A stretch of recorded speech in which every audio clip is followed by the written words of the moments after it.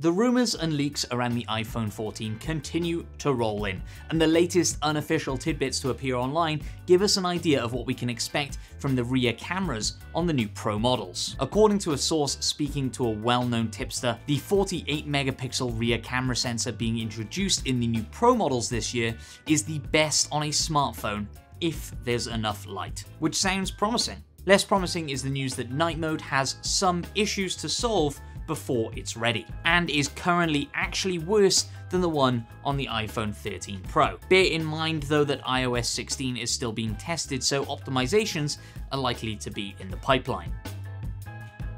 The same source confirms that the iPhone 14 Pro and iPhone 14 Pro Max make use of a pill and hole design on the front display. It's been rumoured for a long time, but it seems like the notch might actually be dead Finally, battery life is said to be getting better again this year, with the iPhone 14 Pro apparently adding another couple of hours to its total. Bear in mind that the iPhone 13 Pro is rated for 22 hours of video playback, so we're expecting around 24 hours with the iPhone 14 Pro. Apparently, the speakers have also been improved according to this source, with better bass and improved clarity. As for the display quality, this is said to be broadly comparable with the screens on the iPhone 13 Pro and iPhone 13 Pro Max. While we can't verify any of these leaks or rumours until the device actually launches, we do know which tipsters are more reliable than others. And as more and more information makes it into the public domain, we start to get a clearer picture of what the iPhone 14 models might look like. From what we've heard about the iPhone 14 models so far, it's the two Pro handsets that are going to be the most appealing.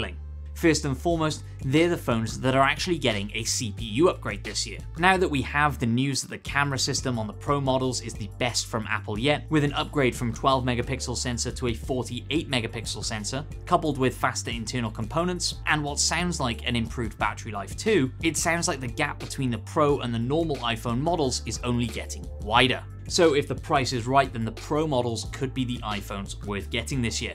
Let us know down in the comments below which iPhone you're most excited for this year. Is it the iPhone 14 Pro, the Pro Max, maybe even the iPhone 14 mini?